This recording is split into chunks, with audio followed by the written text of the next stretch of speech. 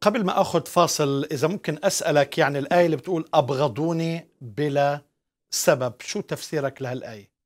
يعني ممكن حضرتك يجي واحد دلوقتي يتصل بيك يقول لك أنا ما بحبش إيليا ويطلع لك 500 سبب. مم. يمكن البعض منهم حقيقي أو غير حقيقي لكن في سبب ممكن الناس ما مم. تحبنيش. لكن المسيح ما فيش سبب. لكن أتحدى والمسيح نفسه تحدى مش أنا بتحدى يا أخي نزار. قال من منكم يبكتني على خطية, خطية. أنا أتحدى لو واحد في العالم قدر يقف يقول أنا بحبش المسيح عشان. مم. لكن أنا عندي 6000 سبب يقول أنا بحب المسيح عشان.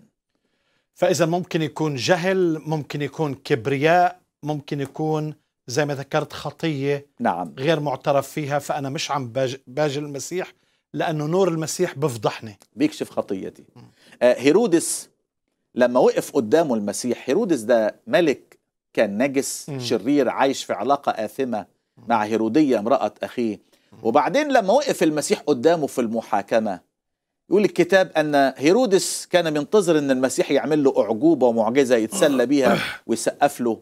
لكن لما سأل المسيح أسئلة المسيح لم يجبه بكلمة. كانت النتيجة أنه احتقر المسيح.